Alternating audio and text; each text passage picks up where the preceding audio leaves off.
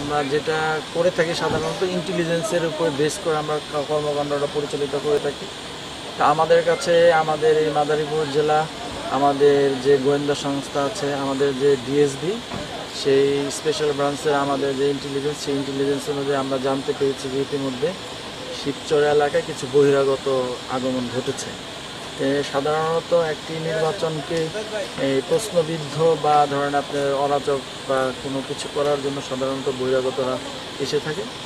Parallelly আমরা আমাদের এই বিভিন্ন যে মামলা, সেই মামলা, নিয়মিত মামলা, নিয়মিত মামলার আসামি গ্রেপ্তার, ওয়ারেন্ট তামিন সহ আমরা চেষ্টা করছি যাতে আমরা এই সুযোগে এই অভিযানের মাধ্যমে আমরা এই যারা অপরাধী তাদেরকে আইনের আওতায় নিয়ে আসতে পারি।